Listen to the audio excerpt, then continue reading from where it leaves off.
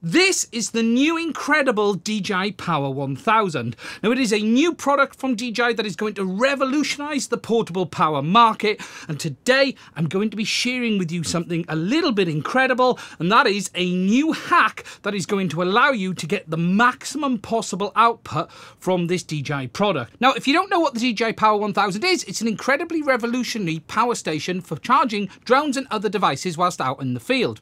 This device has so many features and capabilities, and what I would usually do is stand here and demonstrate them to you. However, that can at times get a bit embarrassing when they don't work properly, so instead, what I'm going to do is read you the specs off this sheet of paper that DJI sent me. That way, I'm guaranteed to get paid. Now, before you actually can use your DJI Power 1000, you are going to need to activate it. Don't worry though, this isn't particularly hard. You simply install the app on your phone, provide some basic information such as name, address, date of birth, credit card details, as well as the name of your firstborn. If you don't know what his name is going to be, just put in a fake name and you can always change it to his real name later on. Now, before we get into talk about the power hack, I should talk about compatibility because this new portable power station does work with many products with a compatible plug, but there are some limitations and it doesn't work with everything.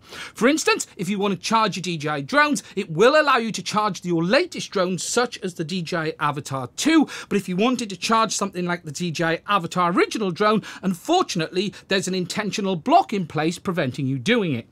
Today, we don't know if DJI are going to allow you to use this power station with some of their older products in the future. Here and now, they've simply decided that you should go and buy the latest product rather than charge the existing one because, hey, who needs money after all? Now, there is one other thing I should just mention on this with regards to the sockets and the outlets. Whilst they all look like your typical USB and power sockets, they are actually DJI specific. So, for instance, if you want to use them with the latest DJI drones, it will work, but as I mentioned, some of the older drones are intentionally blocked. If you want to use, though, your normal third-party products, you are going to need an adapter. The USB port adapter costs $99 each, and the power plug adapter is £199. I'd suggest you pick up four or five of them, and that way you're going to have no problems with any of your usage in the field. Now, before I demonstrate this incredible new hack, I should explain why you need it. If you buy this power station in the USA, you do have full power available on its outputs, although they do limit you to one output instead of the usual two. If you buy it in Europe, though, not only are you limited to one output, you're also limited to a much lower 25 watts of output on that single output. There is, though, a way around this, and it is what is called the DJI Power Hack. This allows you to unlock this device and get not only the maximum outputs available, but also the maximum output on all of them as well. Now to do this is really straightforward. You need to create a text file in an app such as Notepad++, and inside that text file, write the words EcoFlow sucks.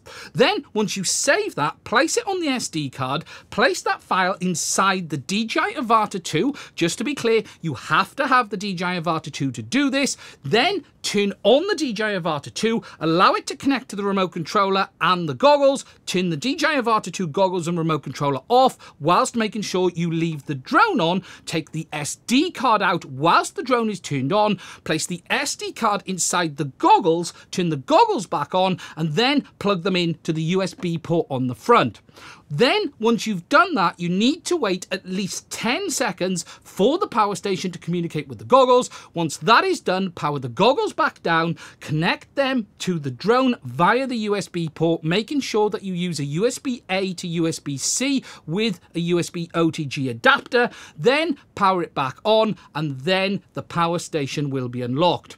This incredible modification means you're going to be able to get the maximum output from this power station straight out the door, and then you're going to be able to not have to worry about bringing extension leads and adapters to allow you to get more of the sockets available. So there it is, all done, your power station is unlocked. Now I really hope you have found this video interesting. If you have, there is an affiliate link to this power station in the description where DJI will pay me 5%. Because I haven't said anything negative about the product and you will use my affiliate link, DJI will keep sending me products in the future, so please do make sure you check it out. That way I can keep telling you about exciting new incredible things that you're going to buy later on to find that there are loads of things that don't quite work as you expected. Anyway, that's it from me on this one. Please do make sure you use my links. Stay safe. I will speak to you soon.